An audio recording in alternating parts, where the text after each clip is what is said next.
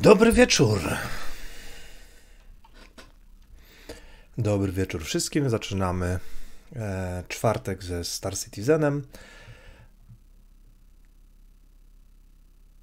I chyba sobie muszę zamknąć drzwi.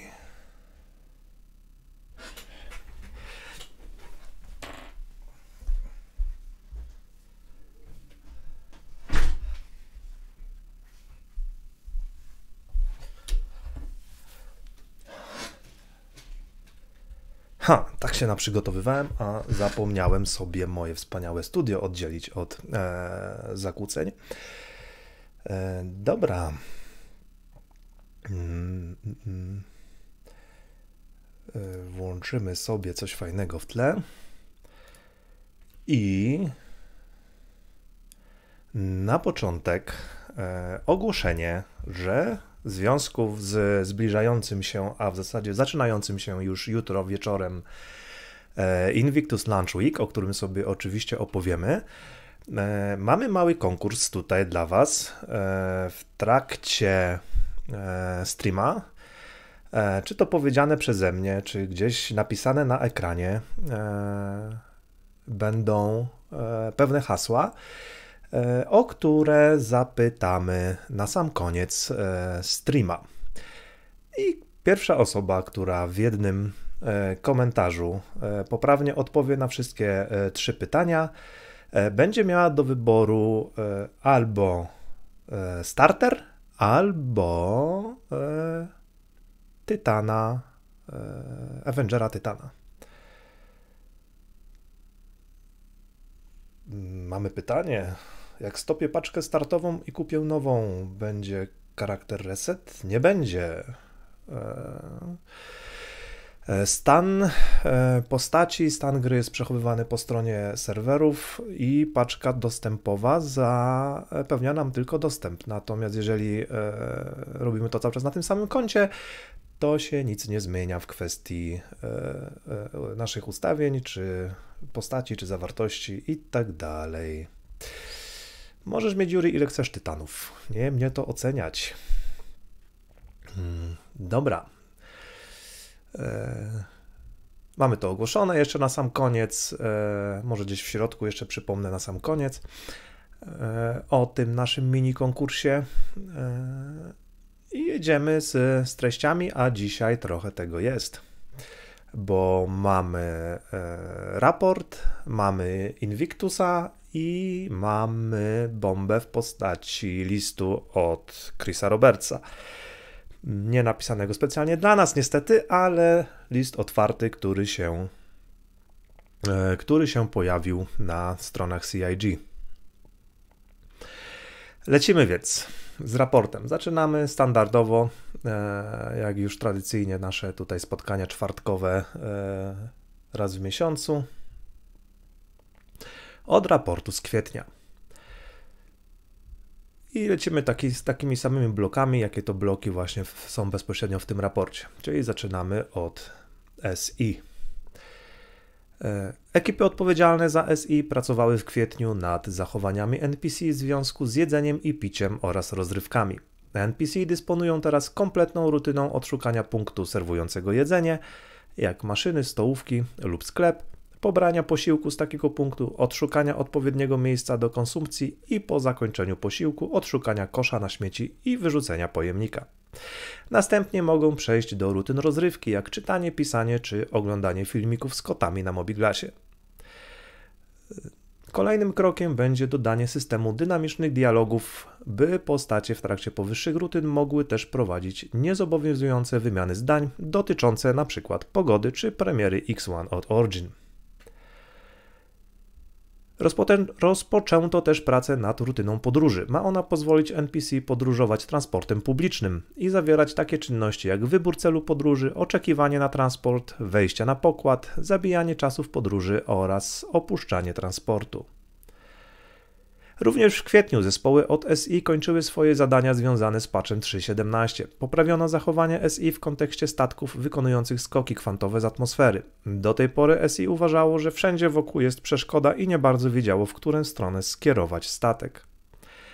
System nawigacji otrzymał też powiadomienia dla SI polegające, dające informacje, gdzie i kiedy zostały utworzone planetarne siatki nawigacyjne, o których mówiliśmy w poprzednim raporcie. Ze względu na dużą ilość bytów SI potrzebujących takich informacji trwają prace nad jak najlepszą optymalizacją tego systemu. E, tak jak w marcu trwały prace nad poprawną interakcją NPC z wózkami. Obecnie celem jest stworzenie spójnego dla wózka i operatora systemu kolizji, który pozwoli na omijanie innych postaci oraz wózków. E, poprawiono też narzędzia dla deweloperów służące do tworzenia grafów zachowań SI. Animacje. Do PU trafiły nowe animacje sprzedawcy i obecnie tworzona jest dokumentacja mająca ułatwić późniejszą rozbudowę systemu. Zaczęto też dodawać NPC grających na automatach oraz wykonujących inne czynności związane szeroko z odpoczynkiem. Stworzono animacje twarzy dla przestępców, sprzedawców, barmanów oraz nowej postaci zlecającej zadania. Stworzono animacje dla broni trzymanych w rękach gadżetów i materiałów wybuchowych. Rozpoczęto pracę nad nowym pistoletem maszynowym. Grafika. Kontynuowano pracę nad ubraniami dla mieszkańców Pyro. Kończono też pracę nad dużym zestawem nowych wariantów pancerzy i ubrań gangu Ninetales. Trwają prace nad plecakiem dla e, złomiarzy oraz stworzone są koncepty nowych, modnych ubrań dla mieszkańców Stanton. Kończono pracę nad ciężkim myśliwcem RSI Scorpius. Merchantman jest na etapie prac nad poszyciem i zewnętrznymi elementami, które są w fazie Greybox.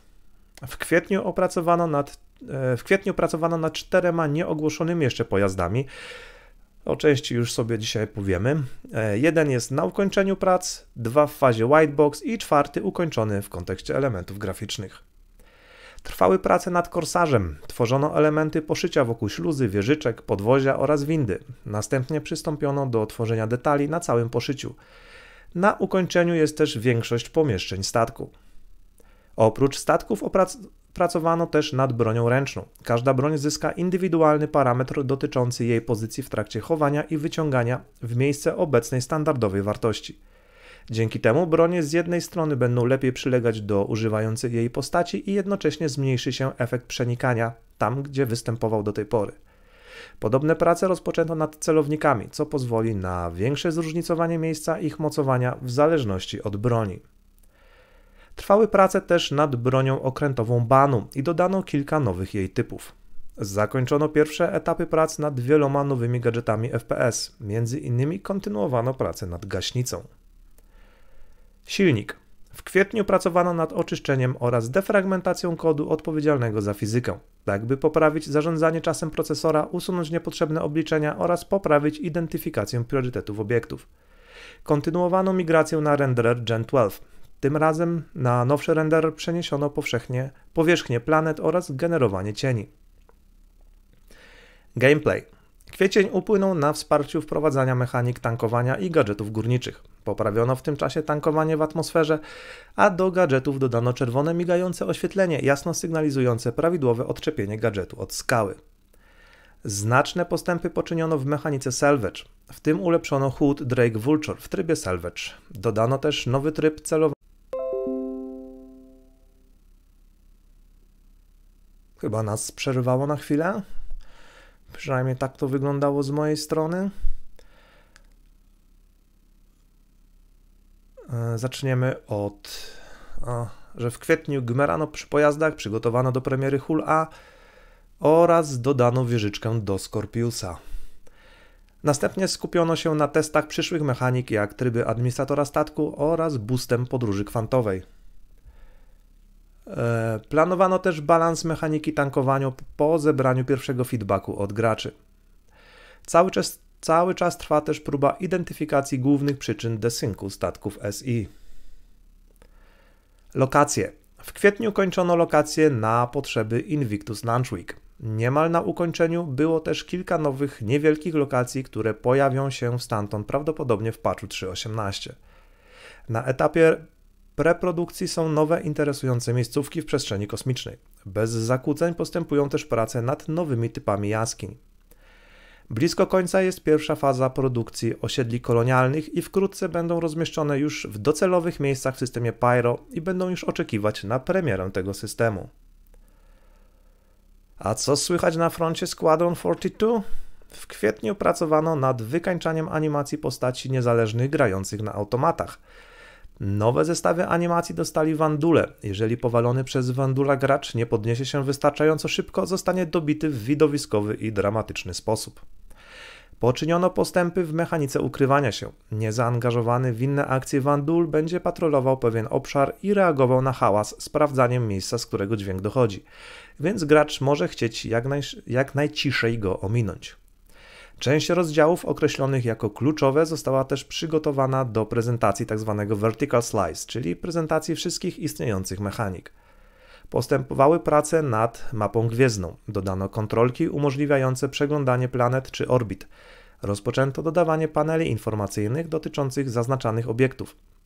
E, na system Building Block sportowany jest też nachełmowy wyświetlacz, czyli HUD, Dodano już wiele widgetów, jak informacje o używanej broni czy celach misji.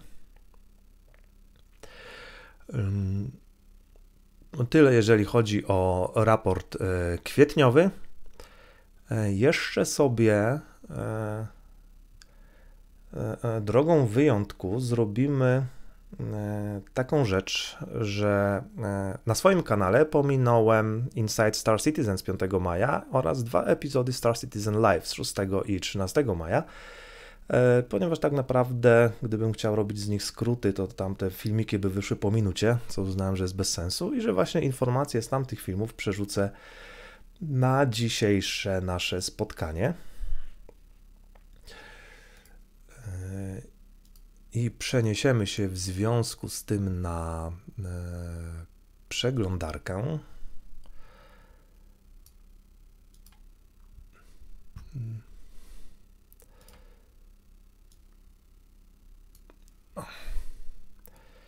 I mamy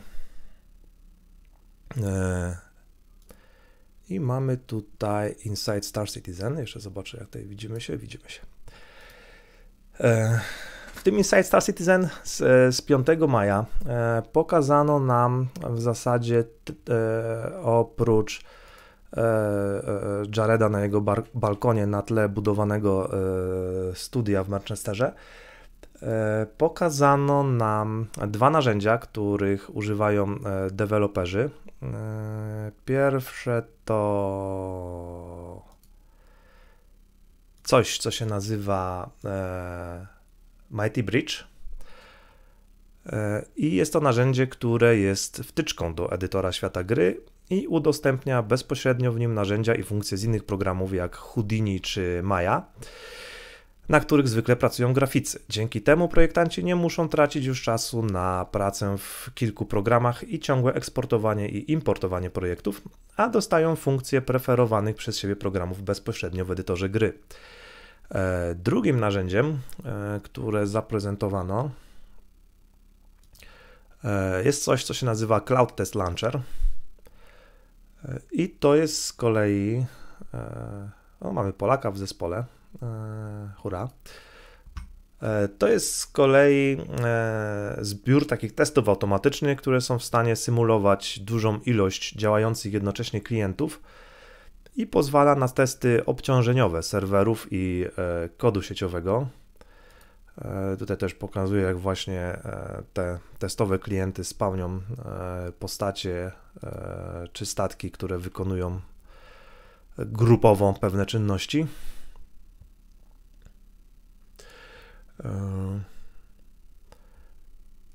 Kolejne to mamy, kolejną rzecz to mamy Star Citizen Live z z 6 maja. Tu mamy tylko gadające głowy e, panów z, z zespołu takiego bardziej inżynierskiego. I wtedy rozmawiano na temat tego nowego renderera Gen 12 i biblioteki Vulkan. Dużo technicznych rzeczy. Ja nie jestem techniczny, więc nie będę się nawet starał powtarzać, żeby nie poplątać. Mm, ale generalnie trwa właśnie implementacja tego e, nowego renderera, e, który będzie dużo bardziej wydajny od obecnego, ponieważ będzie wielowątkowy. I w zasadzie co patch jest faktycznie odczuwalna poprawa w wydajności, a po zakończeniu prac karty graficzne przestaną się w końcu nudzić w Star Citizenie. Natomiast po pełnej implementacji nowego renderera nastąpi migracja z obecnego DirectX 11 na bibliotekę graficzną Vulkan, E, unikano wprost deklaracji tego, ale pół, półgębkiem w tym programie przyznano, że w przyszłości, e, jeżeli ktoś będzie tego będzie akurat tak preferował, będzie możliwe natywne uruchomienie Star Citizena na Linuxie. Głównie właśnie dzięki e, tej bibliotece Vulkan, która jest niezależna od systemu operacyjnego. I kolejny epizod Star Citizen Live, tym razem poświęcony tworzeniu e, homesteads, czyli właśnie tych e, baz kolonialnych, które będą w Pyro. E, uznałem, że to jest ciekawe głównie dlatego, że widać, że niby korzystają z jakichś palet obiektów i to składają, ale jest to żmudna ręczna robota, więc to też wiele tłumaczy, dlaczego Star Citizen tak powoli się rozwija, jak się rozwija. E, no ale plusem też niewątpliwym jest e, jakość finalnego produktu i jak to e, wszystko wygląda. Ok. Tyle patrzenia w przeszłość. Przechodzimy. Ja sobie tu może włączę slajdy, żeby za dużo nie spoilerować. Przechodzimy do mm, przyszłości.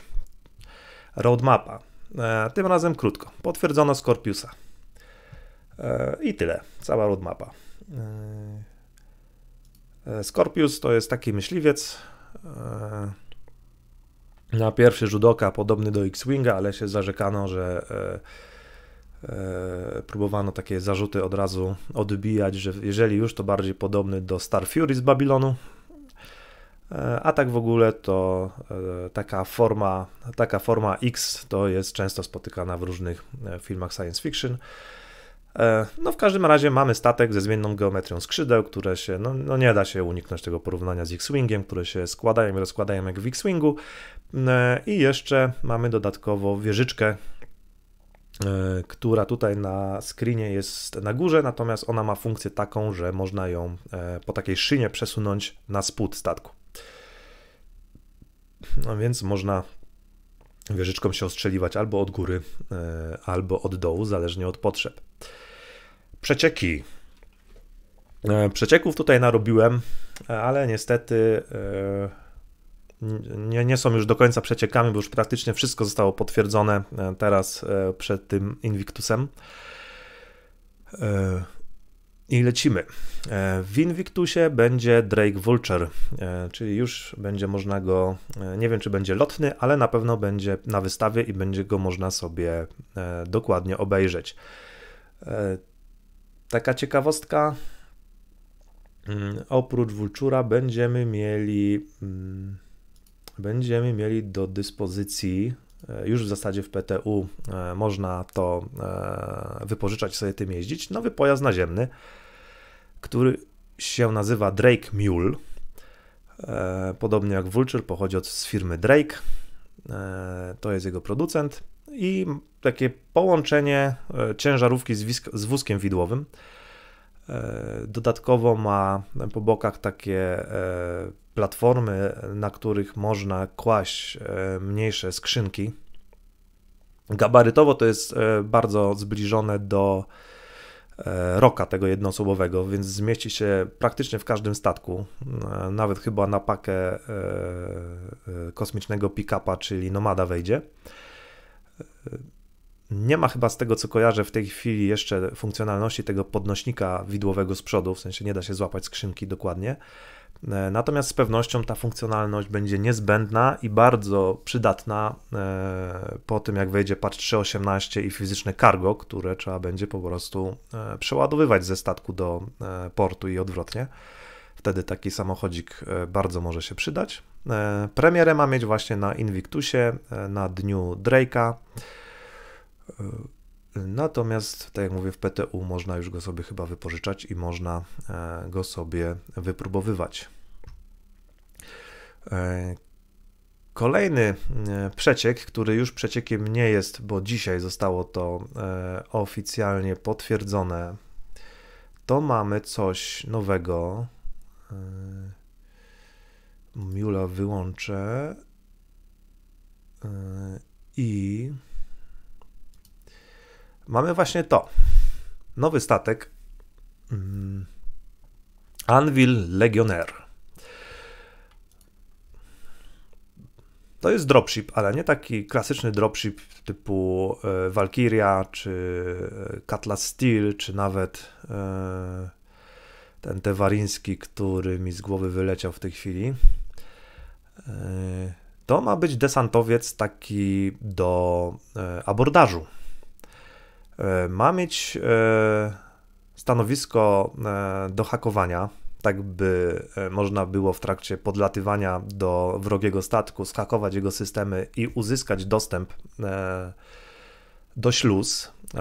Następnie ma wyciągnąć właśnie taki kołnierz i się przystać do śluzy atakowanego statku. Zgadza się, Prowley tamten. No i wystawić e, ośmioosobowy zespół do abordażu. Taka, taka ma być rola tego statku. Co my tam dalej mamy? Hmm. Ma się pojawić też, to jeszcze nie jest potwierdzone, więc możemy uznać jako pełny przeciek, ma się pojawić nowa wersja Promu Piskes e, z dopiskiem R. E, z reguły dopisek R w Star Citizenie oznacza racing, natomiast średnio sobie wyobrażam wyścigowego Piskesa i najprawdopodobniej, tak jak co niektórzy twierdzą, e, będzie to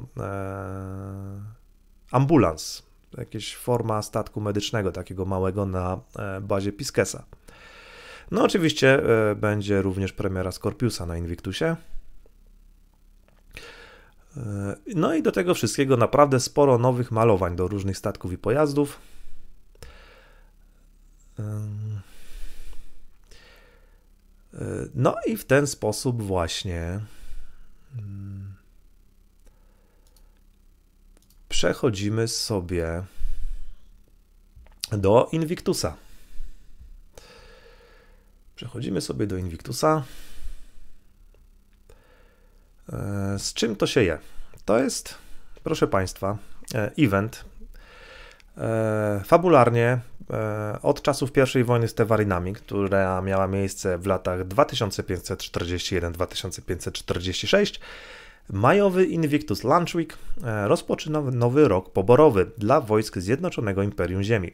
W całym imperium odbywają się wtedy parady i pokazy wojskowe. Natomiast w systemie Stanton E, w tym roku powiązane z tym wydarzeniem imprezy odbywać się będą w mieście e, Horizon e, na Crusaderze, czyli właśnie w tym mieście w chmurach gazowego giganta. W przygotowanych w tym celu halach wystawowych będzie można oglądać różne statki. Już sobie tu zobaczę, czy mamy tutaj rozpiskę od razu.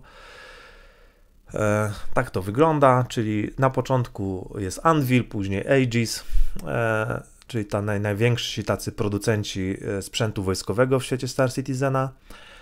No i później już jakby grupowe wystawy innych producentów.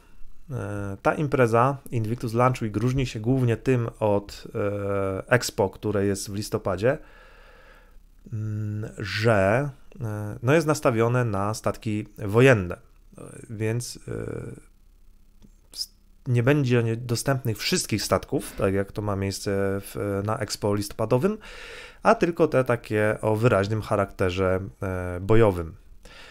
Przez to na przykład mamy e, maj 24-25 mamy Originy, ale będą to tylko myśliwce typu 325A, natomiast na pewno nie można się spodziewać tych wielkich jachtów od Origin. E, no i targi są zamykane. E, targi są zamykane wydarzeniem e, Drake'a, który zawsze jest tak trochę z boku. Taka jest charakterystyka tego producenta. No i tam właśnie będzie premiera tego Drake Mule, którego sobie przed chwilą oglądaliśmy. No, oczywiście w czasie trwania tego eventu będzie też darmowy dostęp do gry, więc e, oczywiście zapraszamy wszystkich, którzy chcieliby sobie wypróbować Star Citizena. E, to mają cały tydzień na to, żeby e, bawić się e, w tym świecie. Mm, przy okazji powiem, że w tym czasie TWH będzie organizowało całą serię eventów e, codziennie od 20 zawsze start z Horizon i codziennie będziemy sobie tam robić coś innego. E, całą rozpiskę możecie znaleźć na e, forum thewingedhussars.com no i na e, Discordzie. No i zbliżamy się powoli do creme de la creme, czyli Letter from the Chairman. E, ostatni taki list od szefa, czyli od Chrisa Robertsa, e, mieliśmy praktycznie e, dwa lata temu, bodajże w październiku 2020 roku. No i teraz tutaj nam się pan Roberts dosyć mocno rozpisał. I żeby coś tam się e, nam miło oglądało, to włączymy sobie znowu chodzenie po wrakach. A ja Wam skrócę i przedstawię, co tam w tym liście było. A było tak. E, w pierwszej części listu Roberts przedstawia wszelkie problemy i przeszkody, z jakimi CIG borykało się w związku z pandemią i tym usprawiedliwia liczne obsuwy w tym okresie. Jednocześnie podkreśla dumę z tego, co jednak udało się osiągnąć w 2021 roku i wymienia tu wprowadzenie dynamicznych eventów, większe jaskinie, ulepszenia w systemach generowania powierzchni planet, dokowanie wolumetrycznych chmur, gameplay medyczny, looting, mechanikę zrzucania bomb, ekwipunek osobisty. No jak się tak wymienia jednym tchem, to w sumie faktycznie trochę tego jest. E, następnie chwali się ilością graczy. E, twierdzi, że tylko w pierwszym kwartale bieżącego roku podwoiło się tempo e, przechodzenia nowych graczy i obecnie przybywać ma 2000 graczy dziennie. A liczba aktywnych graczy e, dziennie wzrosła o 50% od 2020 roku. Ile to jest w liczbach bezwzględnych? Nie wiem, bo Roberts pisze wprost, że jest to wzrost o 50% od czasu podania tej wartości w liście z 2020 roku, ale wróciłem do tego listu i nie znalazłem tam takiej liczby. Podał wtedy tylko, że w pierwszej połowie 2020 roku powstało 250 tysięcy unikalnych kont. Ale to nie jest to samo co dzienna liczba aktywnych graczy. No wiemy tylko, że mamy jakiś tam wzrost. E, w każdym razie kontynuuję wyliczankę, pisząc, pisząc, że właśnie od 2020 roku przybyło milion nowych kont, w tym ponad pół miliona takich, które wykupiły stały dostęp do gry. A w bieżącym tygodniu e, zalogował się do gry dwumilionowy unikalny gracz. Kimkolwiek jesteś, gratulujemy. E, dalej przewiduje, że w tym roku Star Citizen przebije liczbę 4 milionów kont, milion unikalnych logowań do gry oraz 500 milionów zebranych dolarów E, czyli zbliży się dopiero do szacowanego budżetu, na przykład Red Dead Redemption 2. To informacja dla tych, co cały czas uważają, że SC to najdroższa gra w historii. Wink wink. Tak, znowu przycięło mój wspaniały światłowód. Żeby było śmiesznie, to kiedy miałem internet LTE, to lepiej mi stream chodził niż na światłowodzie. No ale dobra. E, na czym przerwaliśmy? Nie, jakiś lokalny, nie, nie. Jakiś lokalny dostawca, nie wiem co to jest.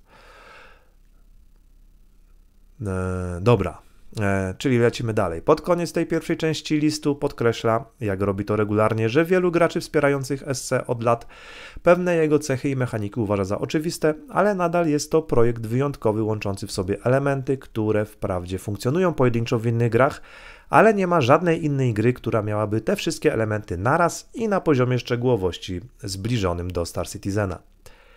I przechodzimy do mięsa. Sekcja listu zatytułowana Droga do wersji 4.0. E, na początek wspominki dotyczące przejścia z wersji 2.6.3 na 3.0 Zmiana numeracji oznaczała duży przeskok jakościowy, pojawiły się wtedy proceduralnie tworzone planety, na których można było lądować w dowolnym miejscu oraz wiele innych nowych elementów. Taki sam skok jest planowany w tym roku. Związany jest on z trzema technologiami, które razem mają fundamentalnie zmienić doświadczenia płynące z gry. Pierwszy system to Persistent Entity Streaming PES. Jest to jednocześnie najtrudniejszy element do zrealizowania i wymaga największego zaangażowania środków. Ta technologia zmienia całkowicie sposób zapisu stanu świata gry do poziomu niewidzianego w innych grach MMO, a nawet w grach jednoosobowych. Do tej pory stan obiektów zapisywany był tylko w przypadku ich powiązania z graczem. Statek i zawartość jego dedykowanych schowków, na przykład. Jeżeli jakiś obiekt był rzucony luzem, dlatego większość poradników sugeruje korzystanie z opcji place, a nie drop, na przykład przy skrzynkach, znikał po przelogowaniu się, a niekiedy nawet od razu po położeniu na podłodze, co wie każdy, kto próbował innej osobie przekazać na przykład butelkę z wodą.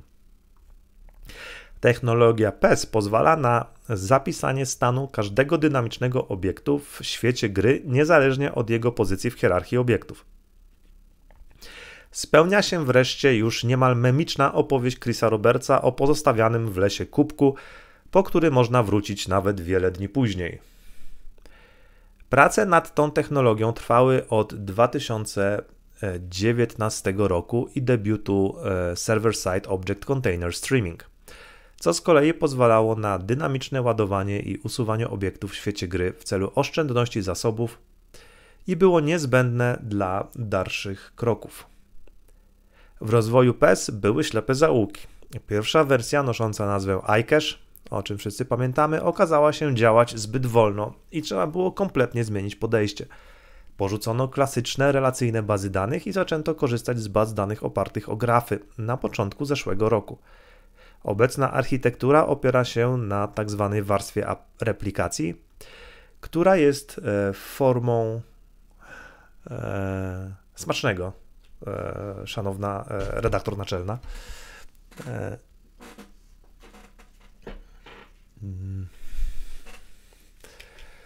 na czym skończyłem? Na klasycznych relacjach bazy danych zaczęto korzystać z bazy danych opartych o grafy na początku zeszłego roku. Obecna architektura opiera się na tzw. Tak warstwie replikacji, która jest formą cache bazy danych, śledzącym stan wszystkich dynamicznych e, obiektów i komunikującym się z opartą o chmurę obliczeniową bazą danych w formie właśnie grafu, nazywaną w CIG grafem bytów, Entity Graph. Dzięki takiemu rozwiązaniu serwery gry będą zajmować się tylko i wyłącznie symulacją, nie zużywając zasobów własnych na zapamiętywanie stanu wszystkich obiektów w świecie gry. Skalę tej technologii pokazuje fakt, że wdrożenie PES wymagało napisania 12 serwisów realizujących wszystkie zadania, podczas gdy już sam serwer meshing, o którym za chwilę, będzie wymagał jedynie kolejnych czterech. E, I teraz zapowiadana właśnie bomba. PES już jest. Po 16 miesiącach intensywnych prac 18 programistów, 3 dedykowanych testerów i 4 nadzorujących pracę producentów, zarówno w CIG, jak i w Turbulencie. Turbulent to jest e, podległa CIG e, firma z Kanady. W zeszłym tygodniu przeprowadzono zakończoną sukcesem prezentację działania tej technologii. Na jednym z księżyców porzucono w różnych miejscach statki i różne inne obiekty, jak puszki po napojach, po czym zarówno serwer, jak i klient zostały zabite. Po ponownym uruchomieniu serwera i klienta wszystkie obiekty były dokładnie w tych miejscach, w których je porzucono. E, jest to bardzo duży przełom pozwalający na zachowanie stanu świata gry niezależnie od aktualnej formy i działania serwerów i klientów. Star Citizen staje się praktycznie czymś na kształt metaverse.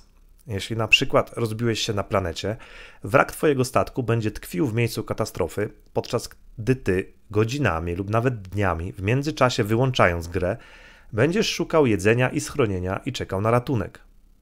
A może, gdy ty już zostałeś uratowany, inny gracz po wielu miesiącach odkryje wrak twojego statku, zimne palenisko i tymczasowe schronienie, zastanawiając się, jaką tajemnicę kryje to miejsce. Ta technologia e, pozwoli Ci też na znalezienie swojego zakątka w świecie gry, gromadzenia tam zapasów, zbudowania bazy i na przykład jej udekorowania. E, PES na serwery gry wejdzie w patchu 3.18, a biorąc pod uwagę, jak bardzo fundamentalna jest to zmiana, Niemal pewne jest, że wszystko nagle wybuchnie. Gracze robią szalone rzeczy i będą zapewne testować funkcjonalność do granic. Eee, jak to Robert się wyraził, tworząc wersję Wally jak z koszmaru. Wszelkie pudła, puszki, porzucone ciała po rajdach na bunkry będą zostawać. Zawsze, na wszystkich serwerach, dla których świat będzie teraz wspólny. Nadal na ten patch przewidziane są fizyczne cargo oraz salvage. Te wszystkie wraki po walkach między graczami będą czekać na rozebranie na złom. Dlatego CIG postanowiło nieco zmienić na tę okazję cykl wydawniczy. Plan jest taki, że patch 3.18 będzie dostępny na serwerach PTU od 2 do 3 miesięcy. E, tak by gracze mogli znaleźć jak najwięcej błędów i warunków brzegowych. I na serwery live planowo wejdzie pod koniec trzeciego kwartału e, tego roku. W międzyczasie, żeby gracze, którzy po prostu chcą grać na serwerach live i nie chcą angażować się na serwerach PTU, nie odczuwali stagnacji, zostanie wydany patch 3.17.2 z nowymi misjami, lokacjami i mechanikami pod koniec czerwca. No i to nie koniec niespodzianek jeszcze. E, pełna migracja na renderer e, Gen 12, o czym mówiliśmy przy okazji e, filmu tego Star Citizen Live, zakończy się również z wydaniem patcha 3.18, czyli już w patchu 3.18 będziemy mieli w pełni nowy renderer, a nie ten stary. I możliwe, że pełne wsparcie dla biblioteki Vulkan dostaniemy do końca roku. Czyli właściciele najnowszych kart graficznych wreszcie będą mogli odczuć ich potencjał w Star Citizenie. No, do tej pory Star Citizen obciąża głównie procesor. Eee,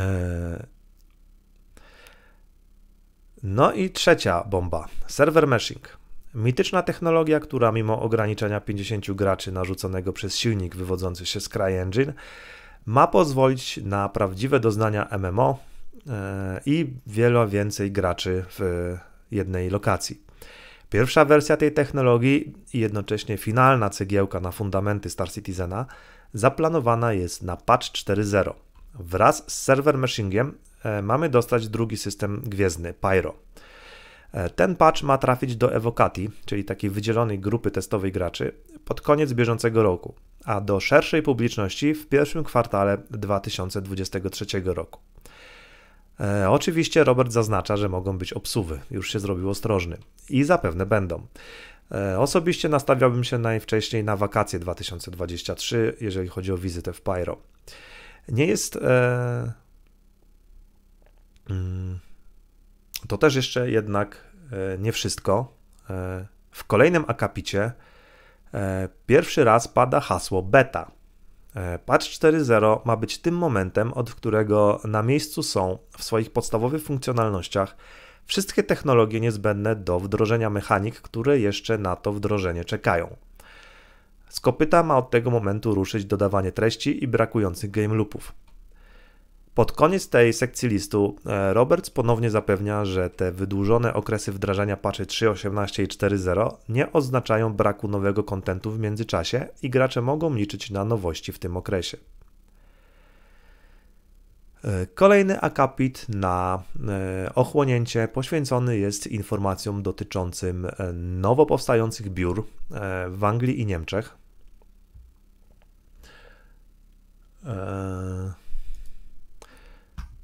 To sobie nawet mam tutaj. Tam nic ciekawego tak bardzo nie e, mówią, bo tylko tam się chwalą, ile tam metrów kwadratowych i tak dalej. I jesteśmy z powrotem. Masakra. Przepraszam Was, nie wiem czemu tak to działa u mnie, ale no niestety. E, tu mamy właśnie zdjęcia z. E, znaczy zdjęcia, no to jest. E, jak ma wyglądać, tak? Wnętrza, bo w tej chwili te wnętrza wyglądają e, tak, a wyglądać mają w nowych biurach w Manchesterze e, jak na New Babbage. To właśnie chciałem Wam pokazać, bo mają, mają fantazję. E, natomiast e, drugie biuro w, we Frankfurcie e, z kolei jest wzorowane na Horizon. Ta, tak mają wyglądać e, biura we Frankfurcie. Więc taka właśnie e, ciekawostka.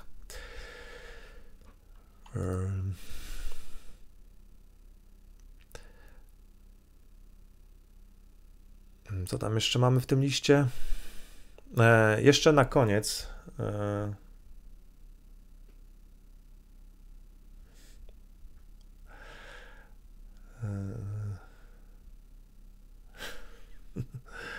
przenoszą wszystkich właśnie do e, głównym takim. E, w tej chwili są e, biura chyba w czterech albo w pięciu krajach, z tego co kojarzę.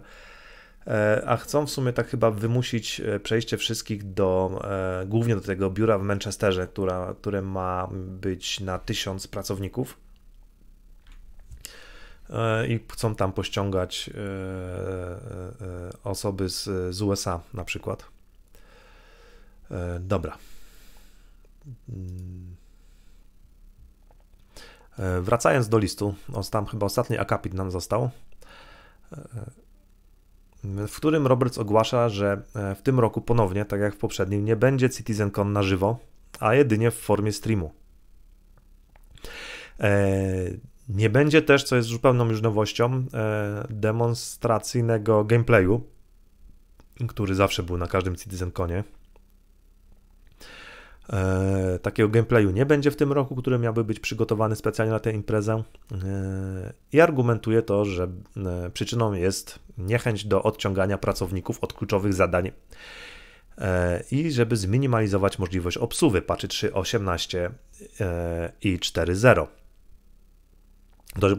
Ktoś mógłby powiedzieć wreszcie, bo gracze od dawna, od, od kilku już tych CitizenConów mówią, że to przygotowywanie tych takich gameplayów na CitizenCon jest bez sensu i tylko zabiera zasoby tak naprawdę. E, no i najwyraźniej do, e, do CIG w końcu to też dotarło. E, na otarcie łez Roberts ogłosił, że w tym roku wraca Bard Citizen World Tour, czyli seria lokalnych spotkań w różnych miastach na świecie organizowanych przez fanów oficjalnie pod szyldem CIG. E, czy list jest szczery, a naszkicowane terminy realne, czy też jest to całkowicie cyniczna zagrywka na podkręcenie hype tuż przed Invictusem, czyli dużą wyprzedażą statków, jak chcą niektórzy, czy coś pomiędzy? E, nie powiem. Opinię zostawiam Wam. E, tyle na dziś. E, I zaraz sobie zrobimy e, rozwiązanie konkursu, o którym wspominałem na samym początku. E, w trakcie tego całego streama, jeżeli dobrze się przyglądaliście i dobrze słuchaliście, to nie będzie problemu z odpowiedzią na te pytania. Od momentu, jak się pokażą, ja sobie włączę e, stoper, ustawię go sobie na, nie wiem, 5 minut. I pierwsza e, odpowiedź. E, I pierwsza odpowiedź, która będzie zawierała pierwszy, pierwsza wiadomość tutaj na czacie, która będzie zawierała wszystkie trzy odpowiedzi, nie będę zwracał uwagi na e, serię, jakby odpowiedzi w serii wiadomości. Wszystkie trzy odpowiedzi muszą być w jednej wiadomości. Pierwsza taka wiadomość, która się pojawi, wygrywa. A przypominam, że dzisiaj do wygrania jest e, starter z Mustangiem i dostępem do Squadron 42, e, albo jeżeli ktoś nie będzie chciał startera, może sobie wybrać Avengera Tytana.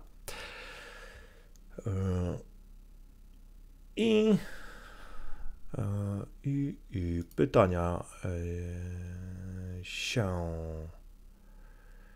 e, przesunę tu. Pytania nam się pojawiły. Włączam stoperek i czekam na odpowiedzi. Ja sobie czekam. A jak ktoś chce, to może sobie. Stream, nie wiem nawet, czy stream można cofnąć, żeby sobie zobaczyć czy nie można? Nie wiem, szczerze mówiąc.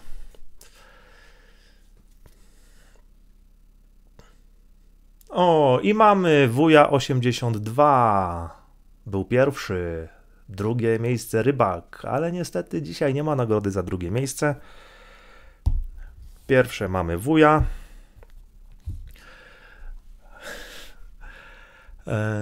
I wuja, proszę cię w takim razie e, o kontakt ze mną na Discordzie. E, na przykład TWH albo na forum TWH e, i zorganizujemy przekazanie nagrody, ponieważ będę potrzebował Twojego niku i Twojego adresu e-mail w, w Star Citizenie. No i właśnie mając Twój nick i Twój adres e-mail Twojego konta w Star Citizenie, będę mógł Ci przekazać do wyboru albo Starter, albo Avenger Titan. To wszystko na dziś. To wszystko na dziś. Dziękuję za uwagę. E, do usłyszenia, a ja wuja czekam na kontakt do Ciebie. Trzymajcie się.